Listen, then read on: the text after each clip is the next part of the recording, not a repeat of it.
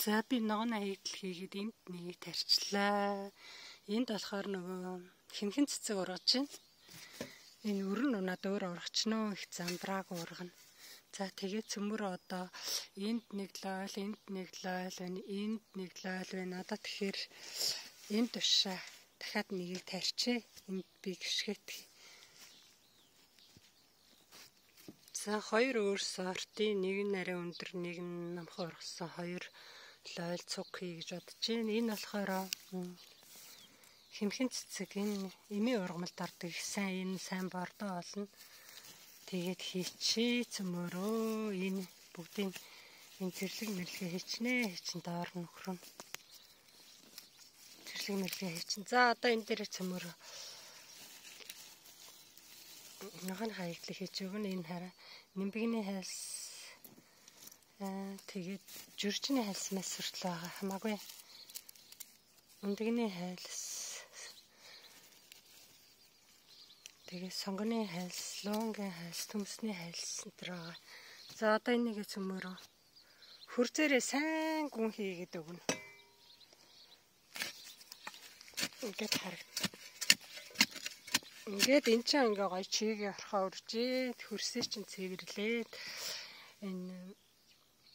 одоо муудчихсан үндсийг чинь хүртэл идэн шинэ ургамлаа чи шинэ үндсийг бол идэхгүй муудсан муудж ялзарч байгаа үндсийг идэн байгаль их гэдэг чинь тийм гоё цаанаасаа цохилтлогтой бие биенийг нөхөн үрчиж идэг тийм сайхан юм байна. Тэгэд энэ ургамал их сониш. Одоо би ингээд ойл тарихад хараа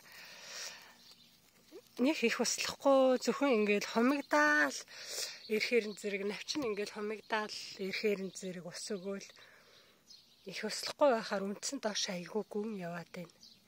Хэрвээ өдөр болгоо ингээл услаал ингээл тордоол байхаар э, үндсэн доошоо явахгүй дээрээсээ ус авах гал э, тэгээд доош гүн үндс урахгүй айгүй санаа.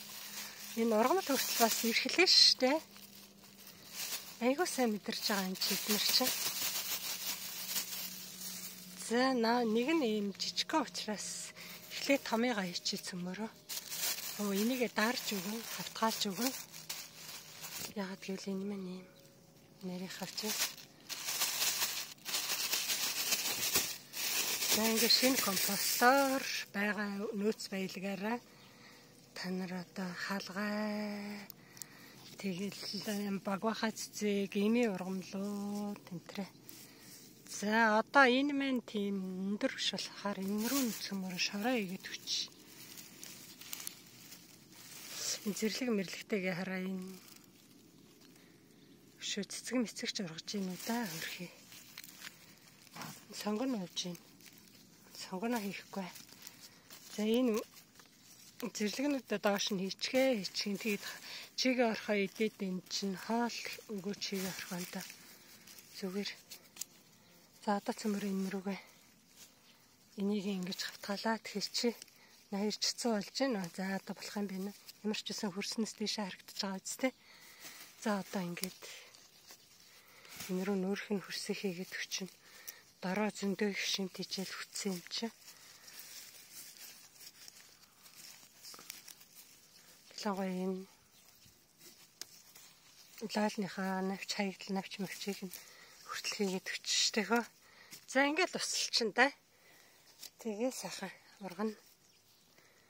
За ингээд та бүхэнд амжилт хүсье. Тэр баяртай. Газар газрынхаа хөрсийг сайхан хооллоорой. Тэгвэл ургац чинь ерөөсөө ингээд унсан газар болгонд өвчин ургаад ш. За тэр баяртай.